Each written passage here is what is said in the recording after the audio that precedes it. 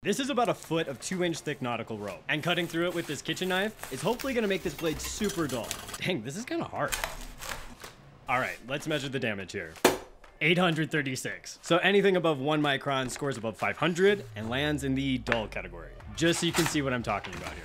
Okay, I'm attaching the magnetic holder so it safely stays in place as I use the diamond disc to sharpen as I roll back and forth along the edge. What's really great about the tumbler is that when you see this metal fold form here, you just flip the tumbler from the diamond sharpening side to the helix honing side and hone the same way as you sharpen.